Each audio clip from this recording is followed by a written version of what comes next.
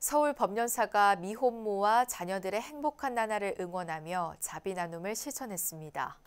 승보종찰 송강사 서울분원 법연사는 불교계 최초의 미혼모자 가족복지시설인 서울 송파구 도담하우스를 찾아 생명방생 후원금 200만 원과 쌀 500kg을 전달했습니다.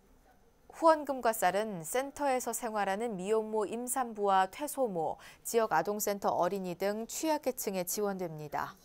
법년사 주지 진경스님은 그 어떤 것보다 우리 어린 새싹들을 잘 돌보는 것이 바람직한 방생이라는 신도들의 고귀한 마음을 전달하게 돼 기쁘다고 밝혔습니다.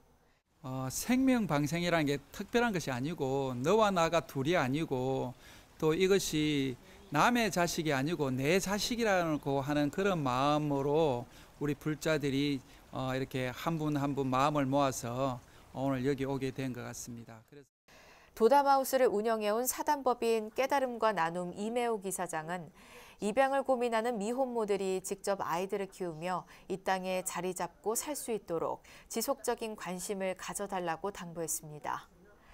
법연사는 미혼모를 위한 생명방생 나눔을 2020년부터 이어오고 있으며 군부대 후원 등으로 상생과 포용 정신을 확대하고 있습니다.